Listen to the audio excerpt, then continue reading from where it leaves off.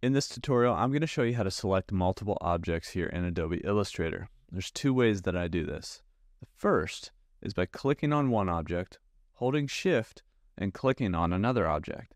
That will select both of those objects. And you can keep going. I'm just holding Shift and selecting all these objects. So now, in this case, if I have a bunch of circles out here, I've selected four of them, and maybe I want to change those to the color red all at the same time. I could double click on my fill over here, click on something red, press OK. And so now I've been able to change all those at the same time.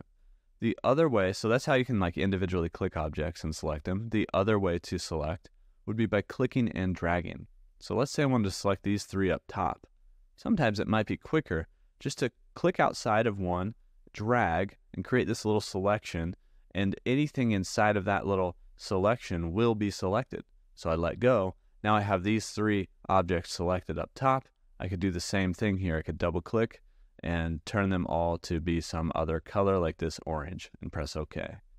So whether you're shift clicking and selecting multiple objects or clicking and dragging to select multiple objects, either way works quickly. It just kind of depends on what you're trying to do.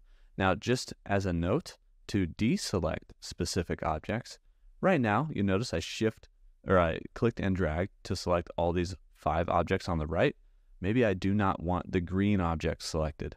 So I could come in here and I could hold shift and click on those green objects to deselect them. So in the same way that you can select multiple, you can deselect individual items as well from your selection.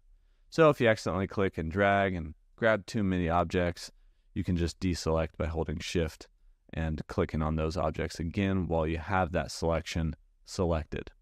Did I say select enough? That's how you can select multiple objects here in Adobe Illustrator.